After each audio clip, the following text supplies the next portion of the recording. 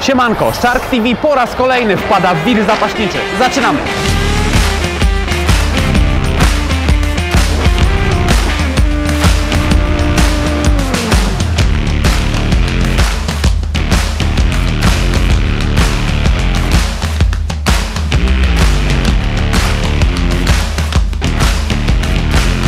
Wir zapaśniczy, czyli otwarte mistrzostwa województwa łódzkiego dzieci i młodzieży w zapasie.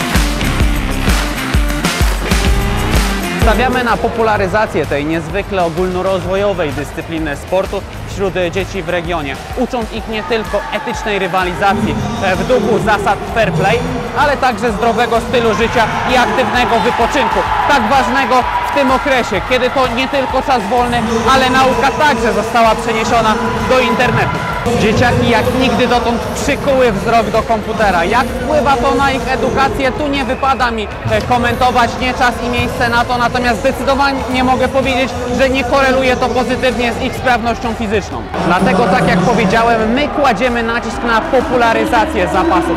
Mówiąc my, mam na myśli oczywiście nasz klub macierzysty sportów walki Shark Łódź, który pierwszego dnia przywitał wszystkich zawodników w swoich gościnnych progach na oficjalnym ważeniu. Natomiast impreza rozrosła się do takiej skali, mamy tu tak wielu uczestników, że po prostu fizycznie nie zmieścilibyśmy ich dalej na tych naszych skromnych 800 metrach przy Piłsudskiego 135K. Musieliśmy przenieść się do znacznie większej lokalizacji. A wszystko to było możliwe dzięki wyrozumiałości Urzędu Miasta Łodzi i wsparciu Łódzkiego Związku Zapaśniczego. I dlatego mogę Was właśnie zaprosić na halę sportową Motir Łódź przy ulicy e, Małachowskiego. Przygotowaliśmy dla Was relacje z tych zawodów, a w niej oficjalna ceremonia rozpoczęcia, wybrane walki i oczywiście rozmowy z głównymi zainteresowanymi.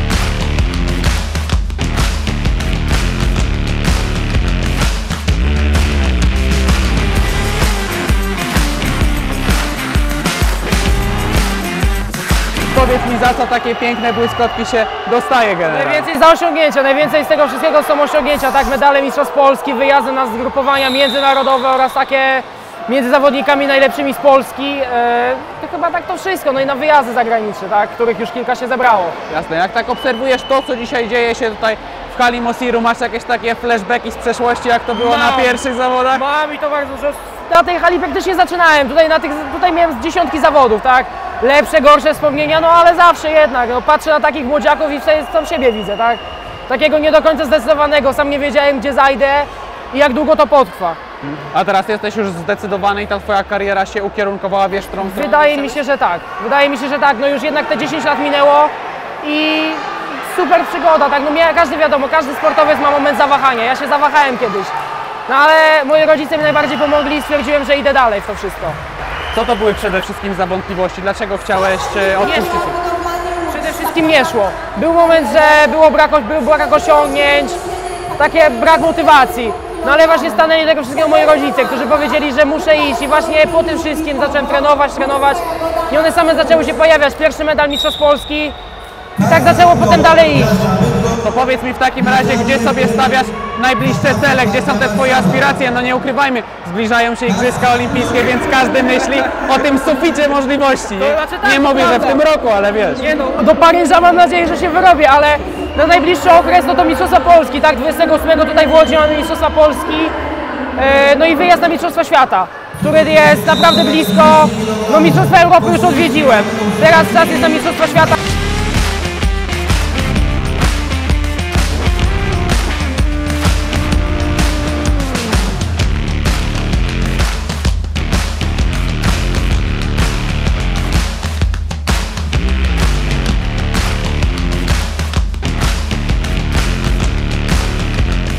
Jak ocenia Pan formę i przygotowanie zawodników? Walki mamy na różnym poziomie, owszem, ale trzeba powiedzieć jedno, że przede wszystkim jest głód rywalizacji sportowej wśród dzieci i młodzieży.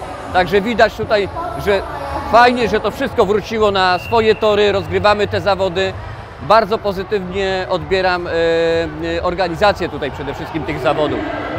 No właśnie, a jak sama atmosfera na zawodach i miejsce? Poza tym, że jest bardzo gorąco, to pomijamy, tego nie ma. Czwarta, czwarta edycja wiru zapaśniczego.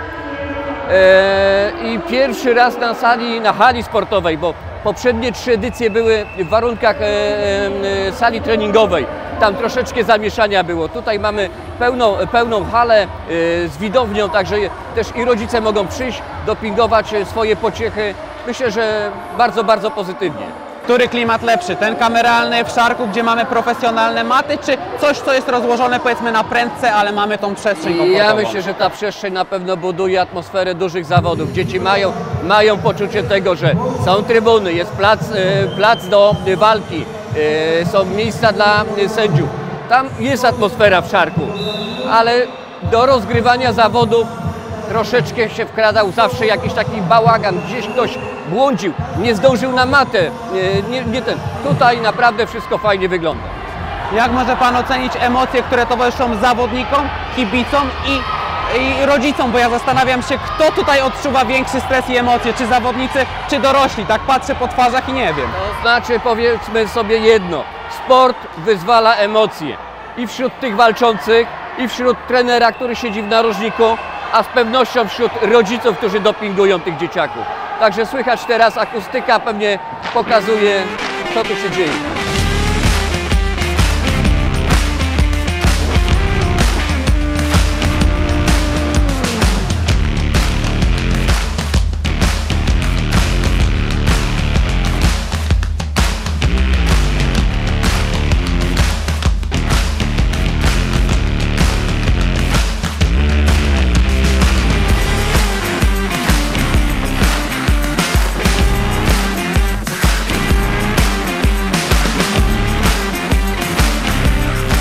Jak Ci się podoba, powiedz mi, w samym środku tego wiru zapaśniczego? Powiem Ci, że wrażenia są niesamowite. Pierwszy raz jestem na zawodach zapasów. No z góry to widać e, bardzo fajnie, dlatego jak się zejdzie na dół, zawodnicy widać, że mają strasznie dużo sił, dużo emocji, mają pasję. Fajni są młodzi zawodnicy, fajnie, że ten sport rozwija się u nas, gdzieś tam odżywa. Widać zresztą to po ilości osób, znaczy, nie spodziewałem się takich tłumów. E, no i co, jestem w szoku. No, niedługo muszę jechać, a nie mam, nie mam ochoty stąd jechać, nie? Super jest. Jeżeli wspomniałeś o tej siłę, sile, to siłę skądś trzeba brać, więc w takim razie skąd obecność Greenboxa tutaj u nas e, na hali przy Małachowskiego? E, głównie chcemy wspierać właśnie młodych sportowców, głównie sportowców, popierać nasz sport, żeby mieli dobre wyżywienie. E, współpracujemy z kilkoma osobami z Szarka na różnych galach KSW, MMA.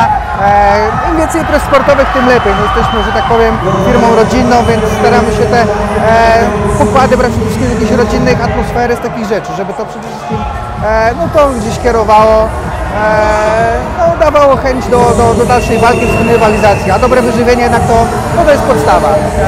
Klient ze środowiska sportu walki. Jaki to jest klient, powiedz mi? E, Jak się z nim współpracuje? Myślę, że lepszy niż ze środowiska biznesowego.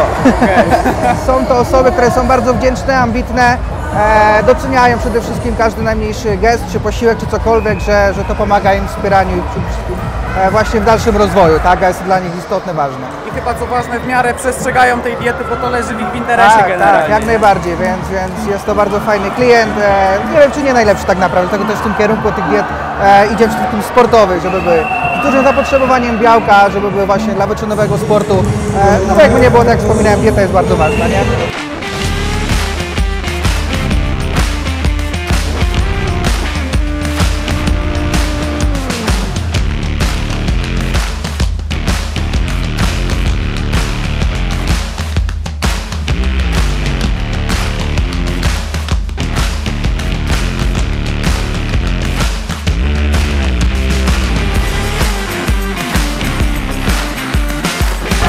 Dwa lata temu się ostatni raz widzieliśmy na drugiej edycji, jak powiedziałeś, podrośliście troszeczkę, więc powiedz mi, czy to już zaczął się taki faktycznie sport na prawdziwym e, poziomie, ta właściwa rywalizacja, czy to jeszcze wciąż jest zabawa? Za dwa lata dużo się zmieniło. Powiem tak, nasze dzieci, jeżeli mówić o naszym klubie, podrośli, zaraz jesteśmy jakby w grupie wiekowej młodzików, ale tak samo nie brakuje nam dzieci.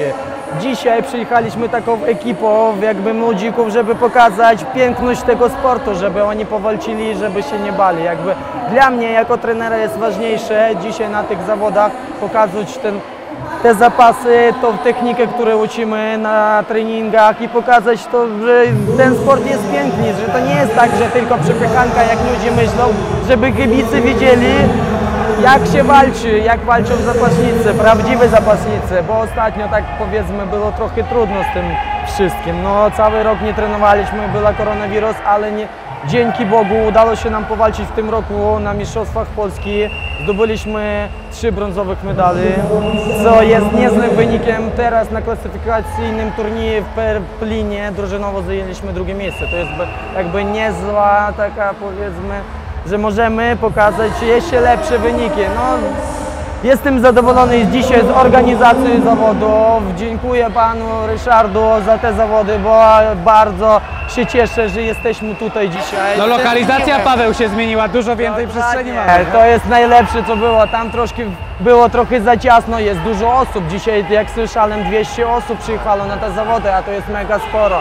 Jest tutaj trybuny, kibice mogą przyjść, jak widzicie. Dzieci zadowoleni, jest super. Jak uczysz radzić sobie z tymi emocjami dzieciaki? Bo jak ja tutaj ktoś koło mnie przechodzi, no niestety, jest dużo płaczu, jest dużo krzyków trenerów, rodziców. Zastanawiam się, czy czasami oczekiwania wobec tych dzieci nie są za duże. Jak ty byś to ocenił? Powiem tak, jako trener też bardzo emocjonalnie to wszystko przechodzi, jest to ciężkie jak dla dzieci, tak dla rodziców, tak samo dla- dla samego zawodnika, prawda, który walczy. Oczywiście musimy starać się uczyć tych dzieciaków traktować ten sport bardziej jak zabawa, żeby oni byli zadowoleni z tego, że oni trenują, że oni mogą przyjechać tutaj pobawić się, zapoznać się z kimś innym. Przecież mają naprawdę dużo tutaj znajomych. Moje dzieciaki już nie mogli doczekać się tych zawodów, żeby przyjechać i z swoim starym przyjacielem porozmawiać. Jakby przegrana jest ciężka, ale niestety trzeba wstać, poradzić sobie wstawać, iść dalej do przodu. Taki jest sport. Tylko mm, najsil, powiedzmy tak, najsilniejsze osoby, które poradzą sobie dadzą radę stać po przegranej walki i pójdą dalej, to nie będą potem gdzieś dalej. Mam nadzieję, że tu w Polsce będą mistrze olimpijski i nie jeden. I tak i tak widzę z tego, co się dzieje, Polska bardzo dużo poszła do przodu i myślę, że zaraz akurat to pokolenie będzie tym najlepszym pokoleniem, które pokaże sukcesy, wielkie sukcesy na poziomie światowym. Paweł, ja cię trzymam za słowo i za kilka lat sobie otworzymy ten wywiad i zobaczymy, czy miał rację. Dobra? Dziękuję bardzo.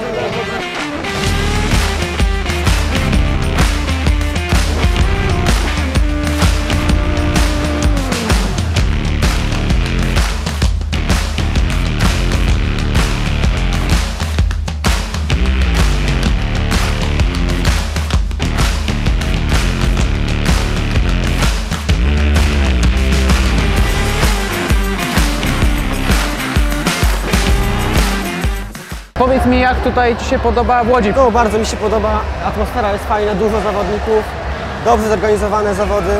Na szczęście nie trzeba było jechać, jak czasami trzeba 9 godzin. Tutaj dziś, dzisiejszego dnia mogliśmy wyjechać i po godzinie jesteśmy. Yy, walki poszły mi tak średnio, ale uważam, że są dobrzy przeciwnicy i mogę się. Ale z tego co wiem, ostatni rok całkiem niezły i te wyjazdy, o których mówisz, to to naprawdę dużo, dużo e, dalsze. W takim razie, jakbyś mógł coś więcej powiedzieć o tym, jak wygląda mniej więcej e, ta Twoja, no raczkująca, ale jednak już trzeba powiedzieć jasno, kariera. Yy, tak, w ostatnim roku zdobyłem brązowy medal na Mistrzostwach Polski yy, w Zgierzu, tutaj niedaleko. Daleko. Też nie chcieliśmy daleko jechać. Yy, na turnieju kwalifikacyjnym do Mistrzostw Trzecie miejsce. Kosiński Mateusz z Licz Kęciny. Dużo trenuję, bardzo się staram. Ogólnie wszystko idzie dobrze. Trener jest zadowolony, ja też. Olimpijczyk. W tym roku postaramy się zdobyć ten złoty medal. To jeszcze Cię tylko na koniec zapytam, jak to wszystko się u Ciebie zaczęło? Dlaczego zacząłeś trenować zapasy i od ilu lat tak naprawdę jesteś w tym biznesie, powiedzmy? Zaczęło? No, ko- kolega, mój bliski kolega po prostu przyprowadził mnie, zaproponował. Spodobało mi się bardzo, też tata uważał, że to jest bardzo fajny sport. I od siódmego roku życia trenuję z małą przerwą roczną, bo ponieważ miałem kontuzję, ale staram się, trenuję kilka, e, pięć razy w tygodniu i lubię to bardzo. Widzę tutaj tata też razem z Tobą, więc chyba cały czas gdzieś tam Cię, cię wspiera. Ko, kto, kto to bardziej przeżywa, powiedz mi tak Twoim okiem? Ty, Twoje walki, czy raczej tata? Raczej tata nawet na, tutaj na walce, był protest, na matę wszedł. Różne są czasami sytuacje stresujące.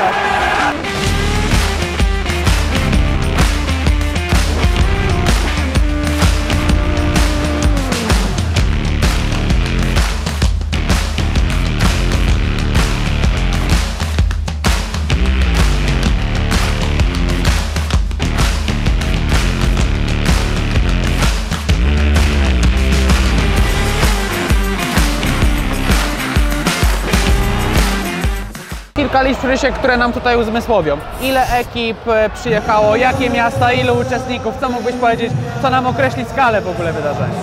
E, Z mojego punktu widzenia naprawdę to już jest fajna skala, gdzie przyjechało na nasz turniej 190 zawodników z 19 klubów. To jest wyzwanie. W tamtym roku może było więcej klubów, y, podobna liczba uczestników. Na pewno za rok planuję zorganizować ten turniej na skalę międzynarodową, gdzie planuję y, 6 mat i to będzie dopiero wyzwanie. W takim razie rozumiem, że zostajemy w Kalina Małachowskiego, bo tych wszystkich mat to chyba w szargu nie pomieścisz. nie powieszczę. Natomiast pomysły są fajne.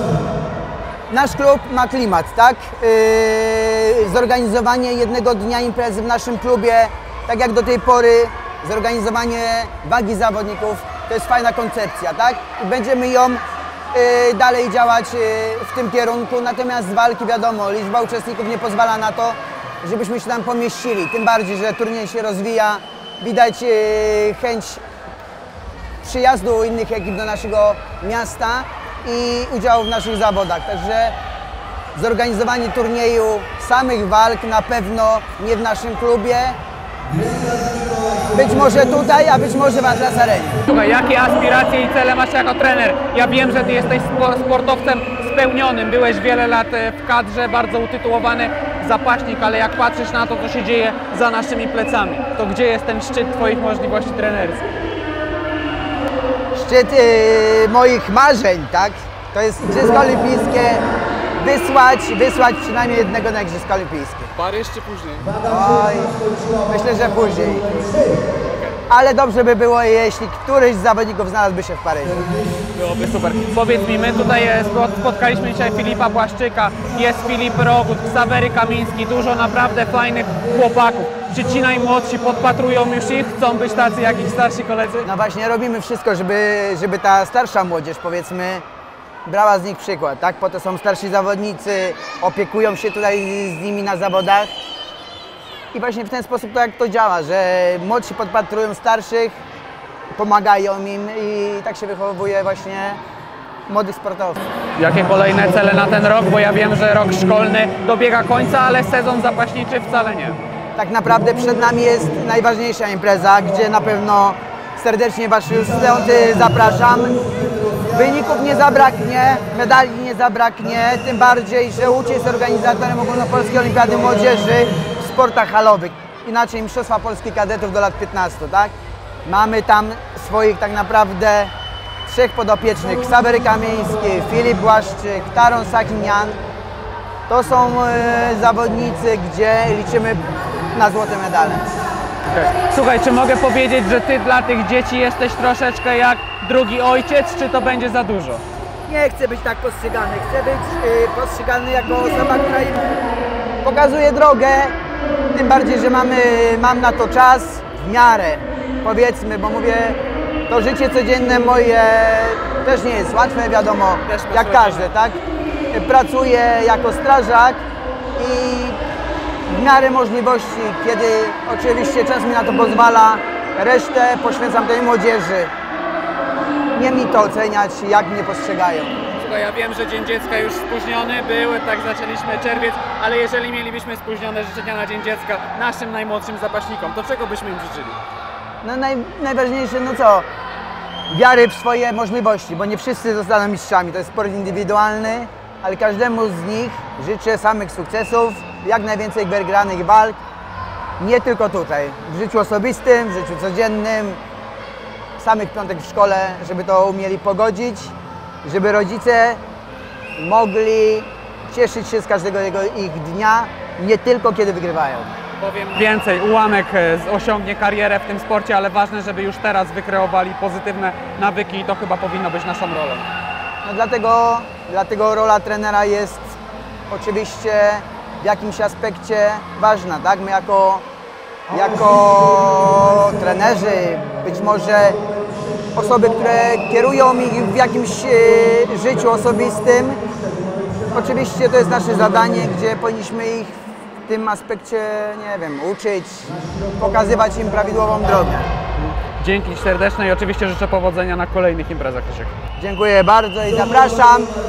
do następnej ogólnopolskiej olimpiadzie, olimpiady młodzieży, gdzie na pewno się będziemy widzieć.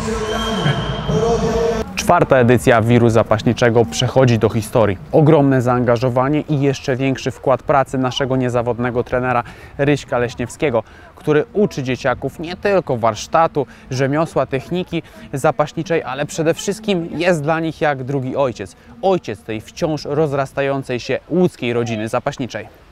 Zachęcam do śledzenia postępów naszych sekcji Shark Zapasy Kids i Shark Wrestling Team i oczywiście niezmiennie subskrybowania kanału Shark TV, który to obiektywami swoich kamer i siłą mikrofonu relacjonuje dla Was to, co najważniejsze z życia klubu. I nie tylko. Do zobaczenia przy kolejnych okazjach. Pierwsza linia frontu to my szark, szark, szark Jak nie kumasz krzyknij jeszcze raz Szark, szark, szark